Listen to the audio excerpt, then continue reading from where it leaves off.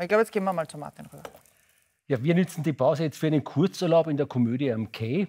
Das heißt, wir nicht, meine Herren, es ist nämlich ein reiner Damenurlaub. Zumindest als solche ist er geplant, bis die unvermeidliche Affäre ja, dann doch passiert und das Ganze in ein ziemlich turbulentes Chaos stürzt, wie wir bei den Proben gesehen haben. Heißt das, du ziehst aus? Du bist doch noch gar nicht richtig angezogen. Äh, ich meine, eingezogen. Der Inhalt war vor dem Titel da. Es gab einen Urtitel, der hieß anders. Und dann hat man gesagt, welcher Titel würde jetzt wirklich gut dazu passen. Ich finde ihre direkte Art voll cool. Sie sagt, was sie denkt. Wenn ich sagen würde, was ich denke, würdest du das nicht sagen. Mit meiner Mutter und einer Freundin.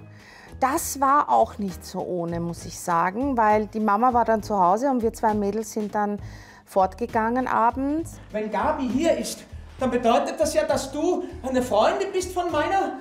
Ich war noch nie auf einem Frauenurlaub. Also das, ich bin am liebsten mit dem Erich in den Ferien oder ich nehme die Eltern mit. Verdammte!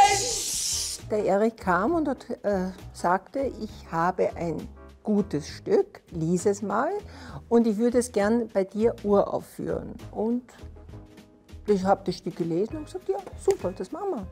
Heißt das, du triffst dich mit einem Mann? Ja, mein Gott, was ist da so außergewöhnlich, dass eine Frau sich mit einem Mann trifft? Wo? In erster Linie geht es ja darum, dass die drei Damen, die beschließen, einen Frauenurlaub zu machen, auch unter dieser Verabredung den Frauenurlaub machen, keine Männerbesuche und keine Flirtereien im Damenurlaub. Darum geht's. Schätzchen, nur damit es jetzt hier kein Missverständnis gibt, ist der Kerl da draußen mit der Schirmmütze, dem Hawaii-Hemd und der Sonnenbrille, der gerade ziemlich nervös etwas in sein Handy tippt und der vergeblich versucht, sich hinter einer Palme zu verstecken. Ist das denn Mr. Reit? Ja, habe ich dir doch gerade erklärt. Effi ist ja eine ganz leichte Figur. Sie ein, ein sehr, eine sehr unbekümmerte Person. Sie lebt sehr gesund und macht viel Yoga und freut sich auf einen tollen Urlaub mit ihren Freundinnen und hat eine Affäre mit einem verheirateten Mann. Alarm! Giftschlangenalarm! Was? Ja, im Ressort wurde eine Giftschlange gesichtet. Jeder hat ein Geheimnis, ja, und jeder belügt jeden. Ähm, und dann wird alles hektisch und jeder versucht, seine Haut zu retten in dem Ganzen. Letzte Proben der Komödie Männerfrei, geschrieben von Erich Furrer mit Unterstützung seiner Ehefrau. Premiere des chaotischen Kurzurlaubs, der in einen dramatischen Liebesthriller kippt, ist Donnerstag.